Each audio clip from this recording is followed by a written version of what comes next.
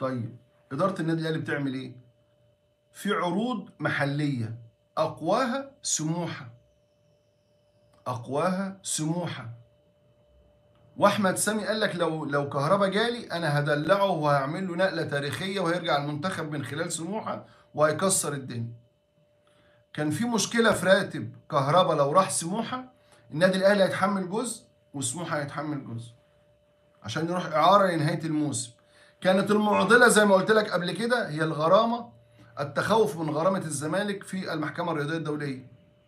هنا الإعارة تضمن مشاركة الزمالك في مشاركة النادي الأهلي في الغرامة مع كهربا. يبقى هما المسؤولين. كهربا متفق على 50% 50% هو يدفع 50% من الغرامة والأهلاوية يدفعوا 50% يبقى النادي يبقى حد بيحب النادي يبقى أي حاجة في الآخر ده هيحصل. قال لك لو باعوني مش هضمن أنا النادي الأهلي أقول له أنت فين؟ تعالى مش مضار بحاجه عشان ادفع ال 50% لكن طول ما أنا موجود معايا نقدر ندفع ال 50% مع بعض. فعشان كده كهربا إدارة التسويق والتعاقدات في النادي الأهلي أمير توفيق ومعاونيه ووكلاء اللاعبين يبحثون عن عرض قوي وجاد لمحمود عبد المنعم كهربا. وغالبا الضفة بتروح يا سعودية يا إمارات. يا سعودية يا إمارات. أحد الأندية. واللي بيدور على العرض هو أمير توفيق وطالب من وكلاء اللاعبين عدد كبير من وكلاء اللاعبين إن هم يجتهدوا في هذا الأمر. ساعدونا في إن إحنا نجيب آآ آآ عرض محمود كهربا. طب كهربا؟ قال لك ما عنديش مشكلة. بس أنا وكيلي حاول اللي هو احمد يحيى. ولم يوفق. ولم يوفق. أو العروض يعني كان في كلام مع أهل دبي وبعدين كان في كلام مع الحزم وبعدين ما وصلوش لاتفاق. ليه؟ فاتورة إعارة كهرباء غالية. فالنادي الأهلي هيتنازل عن حقه المادي يعني مش هياخد فلوس. هيسيب كل الدخل لمحمود كهرباء لترضية كهرباء ليه؟ إن في كهرباء يتعرض إلى ظلم شديد من مستر بيتسو موسيماني. مش كهرباء بس. يعني غيره. غيره. أما طاهر محمد طاهر اللي مكسر الدنيا ده اللي قعد معاه جلسة وقعد له توازنه النفسي قبل السفر إلى قطر لمباراة السوبر كان وليد سليمان. كان في مباراة ودية وقال لك ولعب طاهر محمد طاهر back right. فطاهر محمد طاهر أحبط قال لك ده كده. أنا مش في دماغه خالص. يعني الراجل هيقول لي goodbye good luck مش عاوزني أصلا. فوليد سليمان قعد معاه واداله دفعة معنوية وقال له لازم تركز ولازم تهتم. واعرف إن كل واحد هياخد دوره في الفرقة والراجل مش معنى كده إن هو مش عاوزك أو إن كذا. أكيد في حاجة في دماغه بيجربها وقعد له توازنه النفسي راح طاهر محمد طاهر بالثقة الشديدة جدا جاب هدف التعادل في الرجاء المغربي وساهم مع زملائه في الفوز بكأس السوبر لكن كهربا خلاص. يعني إيه؟ أكل عيشه قطع مع موسيماني قافل موسيماني مش عاوزه. قافل زي ناصر ماهر. خلي بالك اللي بيعوزه موسيماني هو في الآخر اللي بيمسك. ناصر ماهر كان كله ضد الرحيل ناصر ماهر. آه عثمان سليمان بيقول لي ينوبك ثواب خلي أمير توفيق يجيب عرض الموسيماني الترا... التجديد موسيماني تراجع. كلام عن تجديد موسيماني تراجع بعد الأداء ده لأن في غضب في غضب شديد.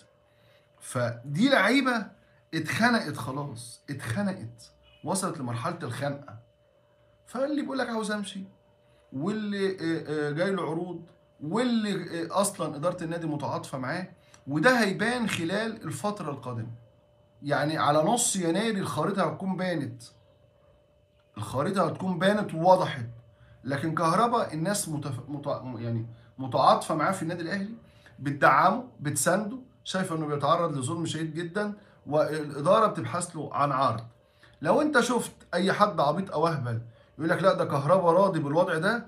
يبقى ده كلام مش منطقي. ليه مش منطقي؟ وأصحاب العقول تعرف إن هم في أجازة. لأن مفيش حد أصلا هيبقى في هذه السن هذه المرحلة وتيجي تقول له ما تلعبش كورة وخليك قاعد كده. ده أنت بتخلص عليه. ده أنت بعد بتفقده ثقته في نفسه. فهو مش هيتنه قاعد معاك لشهر تسعة اللي جاي وهو ما بيلعبش كورة. فإما إنه يبقى واخد وعد رسمي من موسيماني إنه هيلعب وإن المنافسة هي الأساس ماشي؟ يا إما إن هو هيقول له goodbye good luck فغالبا هيمشي كهربا في المرحلة المقبلة وده اللي قلناه وده اللي أكدناه وده اللي أي حد بيفهم كورة أو بيتابع كورة لازم يقوله. يبقى كهربا آه، آه، بيدوروا له على عرض عربي. عمار حمدي متضايق وخلي بالك من عمار حمدي في فيديو كده لفرحة الاهلي في غرفه الملابس في قطر. هتلاقيه قاعد ماسك الموبايل كده وقرفان من نفسه. ده غلط اللي هو عمله. ليه بقى؟ لأن هو مش عايش مع الفرقة. بيسموه كده قالب وش مأنب. يهمه إنه يلعب أكتر ما يهمه إن يعني يعني زعلان إنه ما لعبش. زعلان إنه ما لعبش. مش فرحان إن الأهلي كسب. فده عند جمهور النادي الأهلي ده موضوع آه، بيبقى بيخنق الجمهور وبيخنق الإدارة وبيخنق المدرب. فهو طالب إنه يمشي وحسام حسن بي- بيشوف الدنيا. أما بالنسبة لصلاح محسن فهو مصاب وما طلبش إنه يمشي رغم إنه جاي له عروض عديدة. طيب. like و share وصلي على الزين. سيدنا النبي محمد صلى الله عليه وسلم. يرزقك حبه ورضاه ويرزقك بإذن الله نظرة كده تبقى نظرة رضا. وتبقى كده تحت لواءه كده يوم تبيض وجوه وتسود وجوه. طب يا سيدي عاوز أخش معاك في آه، آه، يعني ميكاسوني برضو الناس غضبانة عليه بس ما ينفعش يمشي يا جماعة. وما ينفعش نتسرع في الحكم عليه.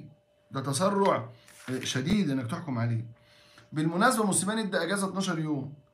والخطيب طلب من الإدارة المالية وإدارة الكرة صرف مقدم عقود اللاعبين. لسه ما صرفوش مقدم العقود. لأن هم الاهلي فيه ازمه ماليه شأن الجميع. لأن آه، آه، شركه برزنتيشن ما دفعتش لأي حد نادي مستحقات وحصل تغيير في برزنتيشن منتصر النبراوي في شركه تذكرتي كما هو. وسيف الوزيري رئيس مجلس إدارة آه، آه، استادات مسك برزنتيشن أيضا. ويا رب كده بالتوفيق يحل من المشاكل وتتحسن الأمور المالية. بالمناسبة غدا الثلاثاء قرعة دوري أبطال أفريقيا. وارد إن الزمالك يقع مع النادي الأهلي. وارد. دي قرعة. ليه بقى؟ لأن الأهلي تصنيف أول الزمالك تصنيف تاني. هتيجي تقول لهم التصنيف ده تم على إيه؟ على النت... على النتائج مش على البطولات. مش على عدد البطولات. عشان لما حد يجي يقول لك إيه نادي القرن مش نادي القرن طيب. الأهلي تصنيف أول ومعاه الترجي والوداد والرجاء. والثلاثة أندية تفوق عليها النادي الأهلي هذا الموسم والموسم الماضي. آخرها الرجاء في السوبر. الوداد في semi final الموسم الماضي والترجي أيضا الموسم الماضي. فالأهلي معاه الأربعة ال- اللي هم تصنيف أول الأهلي والترجي والوداد والرجاء. يعني أربع فرق عربية من المغرب وتونس ومصر. طيب اللي بعدهم الزمالك وصن داونز الزمالك وصن داونز الزمالك وصن داونز ماشي؟ ويجي معاهم النجم الساحلي وحورية كوناكري فوارد إن الزمالك يقع مع النادي الأهلي. دي قرعه تقام بكرة على الهواء مباشرة من الاتحاد الأفريقي لكرة القدم. التصنيف الثالث الهلال السوداني شباب بلوزداد وفاق سطيف الجزائري بترو أتلتيكو الانجولي التصنيف الرا- الرابع المريخ السوداني أمازولو من جنوب أفريقيا ساجرادا من أنجولا جالاكسي من بوتسوانا. لكن إحنا يهمنا كلنا نتابع القرعة. هل يقع الزمالك مع الأهلي؟ هتبقى آه، مدعكة لو وقعوا مع بعض. آه فرقة الزمالك فايقة مع كارتيرون في الفترة الأخيرة والنادي الأهلي أكيد بير... لما موسيماني بيركز الدنيا بتبقى حلوة.